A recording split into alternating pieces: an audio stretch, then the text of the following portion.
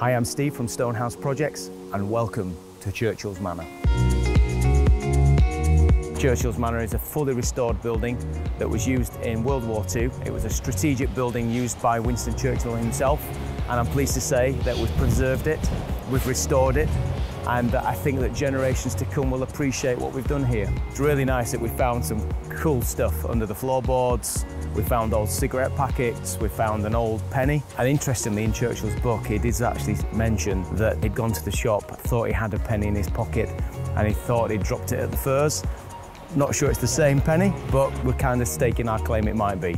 We framed the things that we found that we do in all our, our, projects and we put them in cases so that people that come to live in a building like this can kind of see the work and the heartache that's gone into a building and really kind of give it some love and, and hopefully preserve it for generations to come.